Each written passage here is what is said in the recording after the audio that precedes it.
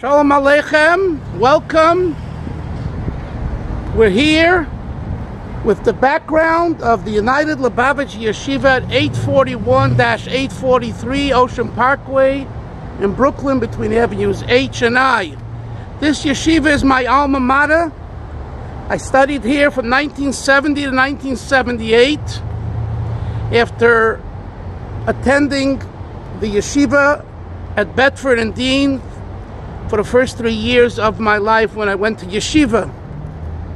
The yeshiva at Bedford and Dean had a fire in 1969, and in 1970 we moved to this brand new building. Many memories, many experiences, wonderful atmosphere, all types of children, all types of backgrounds, Chabad, not Chabad.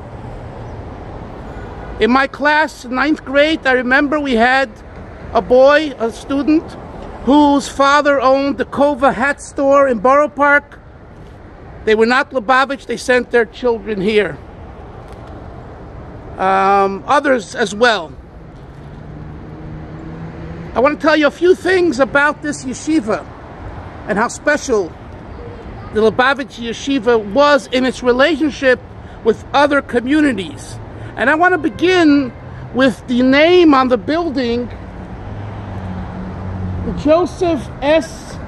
and Caroline Gruss building. Reb Yosef Shoel, Reb Yitzchak, Reb Yosei Chaya, Reb Shlomo Gross, known as Joseph Gross, Joe Gross, Joe Gruss. Who was he? And a special story that happened with him and the Rebbe and Rabbi Gurary, who was the dean of this yeshiva under the Rebbe's auspices. I heard this in Bet Shemesh three years ago from a person named Mr. Joe Froelich. Joe Froelich was an accountant. He lived here in Brooklyn during the 60s, 70s. And Joe moved to Eretz Yisrael and uh, he lives in Haifa, in Haifa. But his son lives in Bet Shemesh, and I met him there and spoke to him. He told me the following story. It was 67 or 68, he didn't say exactly what year. And the yeshiva was preparing to build its building. Mr. Gruss had a policy that he gave the Orthodox yeshivas buildings, Torah Vadas, Torah Tmima, and many others, including Lubavitch. Mr. Gruss came from Poland. He was a survivor, and he did very well. And he dedicated a tremendous amount of money vis-a-vis building buildings for Jewish Orthodox institutions, yeshivas. But he wouldn't give money per se. He gave you a building. For whatever reason, Rabbi Gurary and his helpers, Rabbi Weinberg, Rabbi Katz, and others, for whatever reason, they felt that they wanted and needed the money and they're going to build the yeshiva themselves.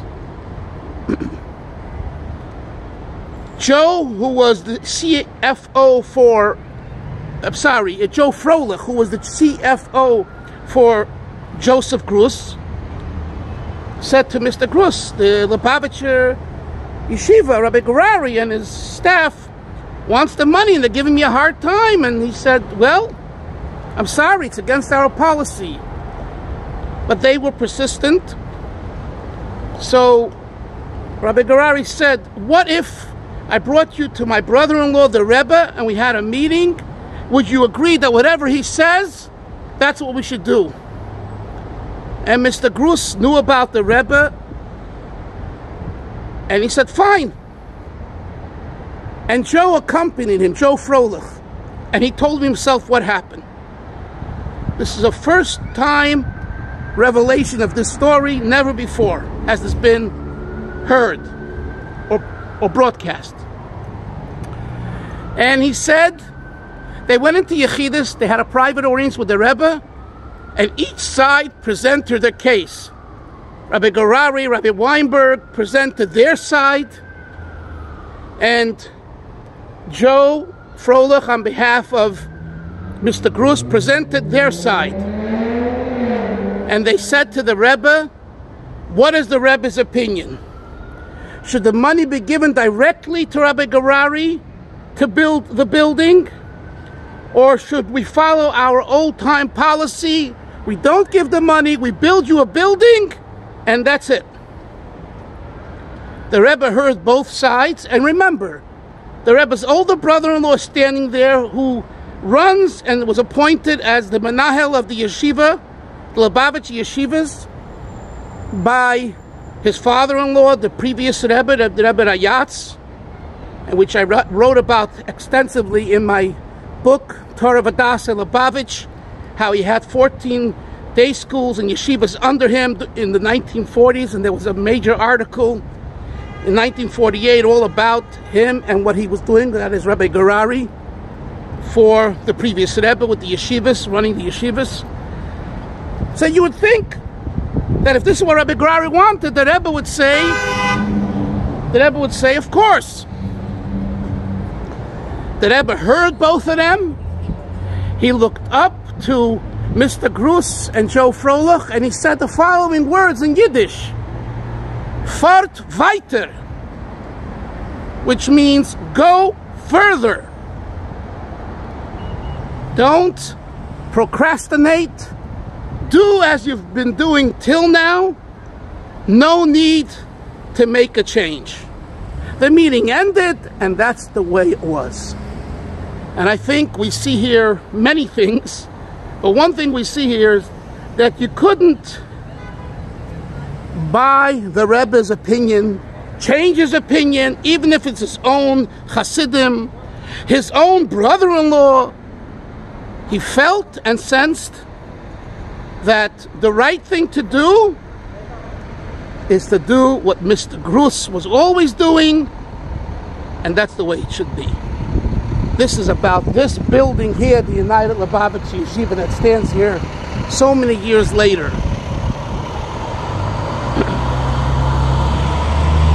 This yeshiva was for years the main Lubavitch yeshiva. Tomchei Tmimim Lubavitch was here when I was here from 70 to 78, we always had elder, elderly uh, Bochurim students, and Rabbi Yoel Kahn would come here, and he would give them shiurim, and he would test us. And here was the Fabrengas Yud Tes Kislev, when he was Farbreng all night, and that's a show for itself to describe the image and the feeling of those all-night Farbrengens, and people came from the outside community to participate it was something fascinating. He would walk out six, seven in the morning here, and they'd go home with a taxi to Crown Heights. And many other things happened in this special yeshiva who had such special people like Rabbi Tenenbaum, our principal, such a lovely, holy person, Rabbi Ushbal, Rabbi Buket, Rabbi Garfinkel, Rabbi Shvei, Rabbi Marlow, Rabbi Rimler, Rabbi Barnetsky, Rabbi Fuchs, Rabbi Eckhaus, Rabbi Goldman, Rabbi Bernstein, Rabbi Mendelovitz, Rabbi Weingarten, and anyone else that I forgot. so it's years later, and it's um, important to understand that this is a edifice on Ocean Parkway that represents an entire ethos. It represents an entire Weltanschauung. It represents Lubavitch, Chabad. And with the Aibershter's help, with God's help, very soon we will march with this building to Yerushalayim, B'mheira b'yameinu, very speedily with the coming of Mashiach. Amen.